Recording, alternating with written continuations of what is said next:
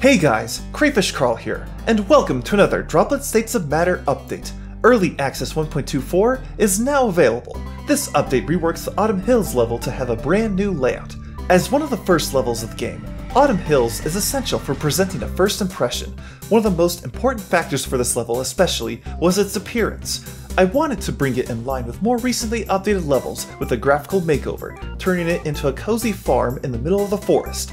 In addition, I wanted to give the level a second pass to make sure that the player is ready for the challenges that lie ahead in later levels. I removed puzzles which seemed too one-off for the area, and presented how the states of matter get used more clearly. By narrowing the level's focus, this would ease the player into acclimatizing to the game's complex mechanics. As a result, the level now features a greater focus on the mechanics of Plasma Form, to help players better understand early on what Plasmaform's abilities are, I added more scenarios where they would be able to make use of it. These include the addition of hard-light platforms, as well as cannons that launch you to other points in the level. Additionally, some players discovered ways to go out of bounds in cloud form to skip large areas of the level.